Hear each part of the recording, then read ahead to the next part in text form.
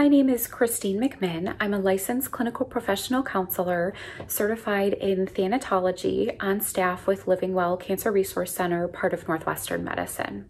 I wanted to take this opportunity to share a little bit with you about one of our support groups, and that is our Leukemia Lymphoma Multiple Myeloma Support Group. It's an evening time support group that meets once a month, open to anyone who is living with one of those three diagnoses leukemia, lymphoma, or multiple myeloma, as well as anyone who is caring for a loved one with one of those diagnoses.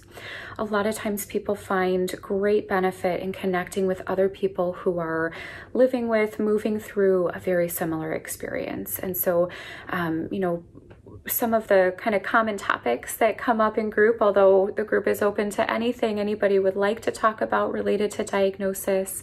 But some of the common topics are, you know, some of the unique nuances of those three diagnoses in particular, living with that reality of um, the likelihood of the diagnosis recurring and just different stressors that come from, from that knowing.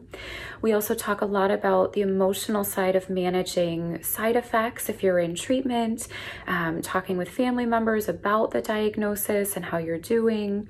Um, and then we also do spend, you know, a good bit of time kind of talking about just if you're in that watch and wait process of what that's like emotionally. Um, and then we also do spend a, a good bit of time. We have a number of people in group that are looking at the possibility or navigating through a transplant.